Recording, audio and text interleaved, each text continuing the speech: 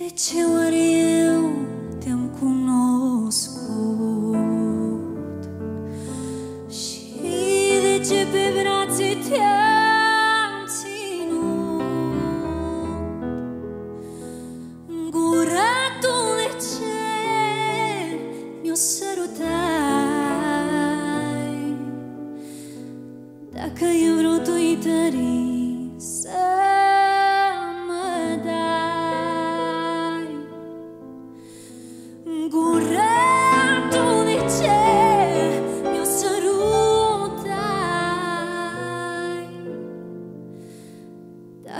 Vrut uitării să mă dai. Fără tine nu miroase nicio floare. Fără tine viața n-are rost. Sub privirea ta mângâietoare Totdeauna fericit am fost.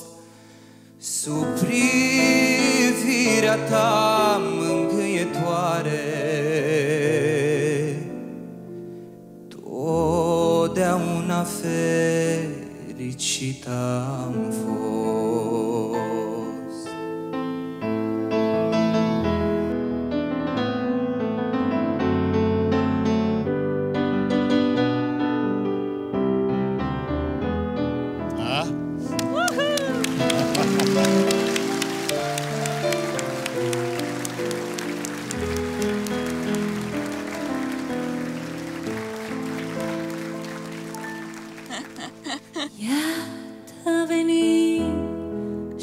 și despărțirea.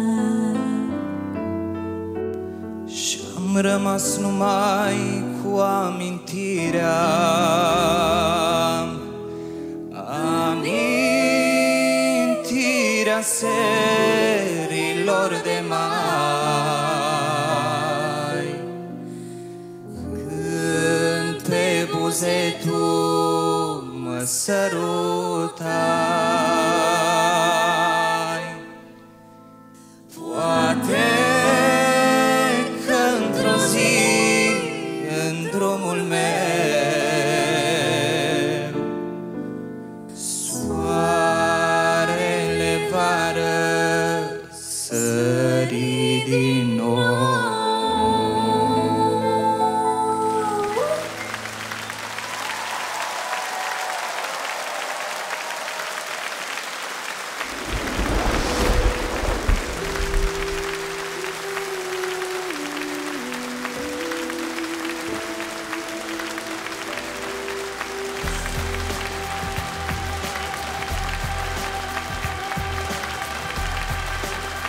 Felicitări, un moment emoționant.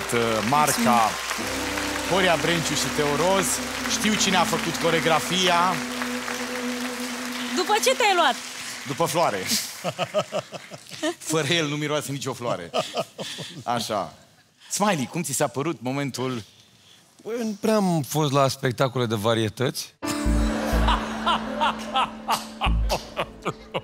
Știu că la un moment dat m-am dus și am dat... uh, Am fost la o teatru de vară în uh, Eforie Sud, Eforie Nord, că acolo mergeam uh, cu ai mei. Și m-am dus și am dat flori lui Jean Constantin pe scenă, că eram, eram înnebunit după Jean Constantin. Eram foarte mic, cred că aveam 4-5 ani. Cumva pe acolo m-am, uh, m-am transportat acum. Și acum te așteptai să prezinte Octavian Ursulescu.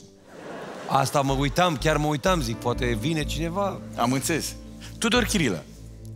Și mie mi s-a părut uh, momentul un pic ina- inadecvat. Și a fost și momentul ăla cu floarea care pe mine m-a deconcentrat un pic, adică m-a dus cu gândul la filmulețul la care circulă cu ăia din restaurantul din Bistrița, domnul meu, doamna mea, e un film în care ei prezintă restaurantul și stau la masă și ea, dar ai văzut aici pastele astea minunate, domnul meu, se gătesc niște bucate extraordinare, el scoate o frate, doamna mea, dar aici avem și nunți și se cântă și nu știu ce. Și se prezintă un salon în Bistrița, cam acolo m-am dus și eu un pic. Dacă vreți o recomandare, sigur că mi s-a părut că vocea Gilbertei a uh, strălucit și cumva ea a și încercat încercat mai mult uh, să, să intre în zona asta pasională. Ce să zic? Momentele re- de regie și regizate trebuie cu atenție regizate pentru ca să rămânem într-o stare de ag- adecvare. Asta e singura chestie pe care am Asta a am- fost concepția lor regizorală. Da. Trebuie să o acceptăm. Sigur că da, Doamne iartă-mă, dar na, Irina Rimes. De data asta nu sunt foarte în asentiment cu colegii mei și o să spun că mie chiar mi-a plăcut. Și am crezut în povestea voastră. Pentru mine a fost un moment adevărat. Ai avea vreo recomandare? Dacă tot te-a impresionat. Aș merge mai departe și eu cu Gilberta. Bun, am ajuns la vinovația acestui moment minunat. Am din ajuns această- la vinovații acestui moment. Mie îmi pare extraordinar de bine că un moment ca acesta i-a trezit amintiri lui Smiley. Da. Dacă n-ar fi fost piesa asta, nu am fi beneficiat de una dintre cele mai frumoase amintiri din copilăria lui Smiley când i-a dat flor lui Jean Constantin. Și îmi cer scuze față de Tudor. Data viitoare, într-un timp limită, o să avem timp și de arta actorului, asta vis-a-vis de colegul meu, Andrei Ciocărlan. Vă mulțumesc foarte frumos! Bravo! Bun, Mulțumim! dar aveți de ales. Da. N-aveți de ales, aveți de ales. Așadar, decizia antrenorilor este...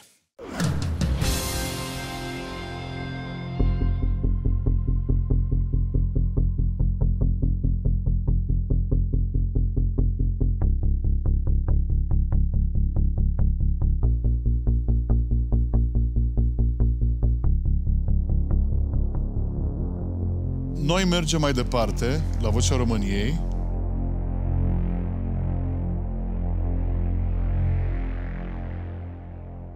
Cu Gilberta. Gilberta merge mai departe în echipa lui Horea Brenciu la Vocea României în knockout-uri. Mulțumim frumos!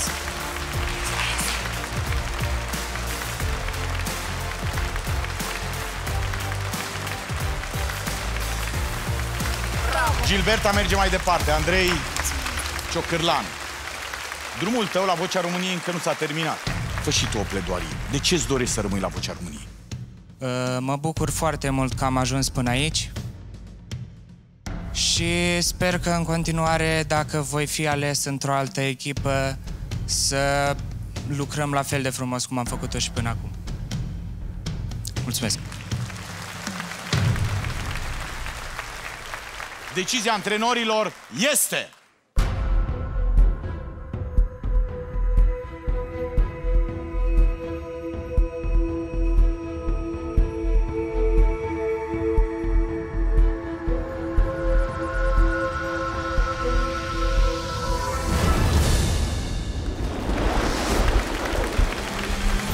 Este aceasta merită aplaudată ca și evoluția lui Andrei. Andrei, îți mulțumim frumos, Andrei Ciocârlan. Mulțumesc.